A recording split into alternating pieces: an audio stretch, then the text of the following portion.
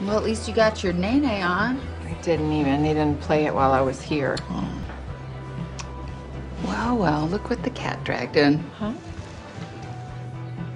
What is he doing here? I might have texted him. And why do you have his number? Remember when you told me I shouldn't Google about cancer anymore?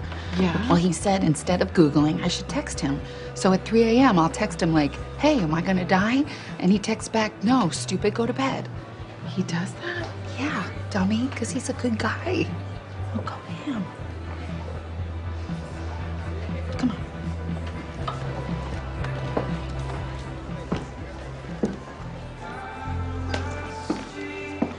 Hey. Oh, hey. Um, so listen, I had a long talk with George. Our, our waiter? Yeah, we had a we had a lot of tableside guap to finish, and he asked me why we were fighting, and I don't know why we were fighting. Yeah, I don't either. Why did that get so crazy so fast? It was my fault, and I'm sorry. No, I am sorry. No, no, no, I'm sorry. I, it was it was No, all my I- fault. Because I overreacted. no, I and overreacted, okay, I'm sorry. We're doing it again. Yeah, yeah. I will say this I don't love to be wrong. And um, I need to tell you that I do believe that I was inappropriate last week.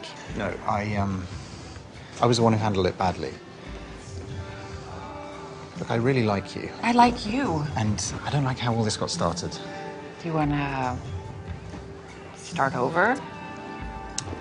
Is it possible to do?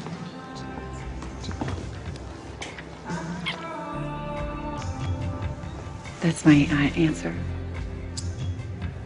Well, I like that answer. But I mean, we are. We are going to have to work together. Is that going to be too complicated for you?